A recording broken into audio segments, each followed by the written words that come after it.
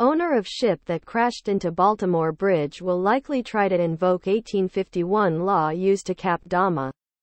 Jess after Titanic disaster. Business Insider.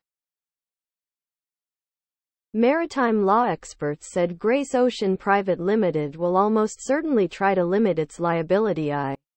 N lawsuits expected to arise from the disaster. Below are your comments.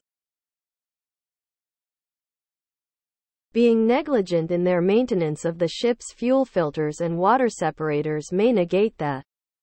If they knew they had taken on contaminated fuel also. To say it's normal for a ship to have engine failure from time to time is the wrong answer.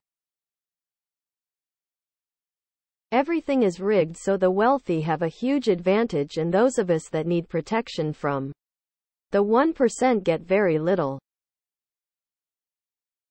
I can already see the commercials and hear the lawyers rubbing their greedy hands together. If you or a loved one was on the bridge, Wonder how many people will be claiming they lost a family member in the coming weeks. Dot.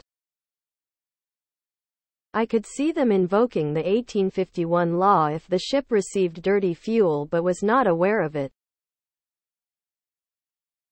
The fuel provider would then be liable. Or if the ship's computer had been hacked by, say, China or Russia, that too would get the shipowner off the hook.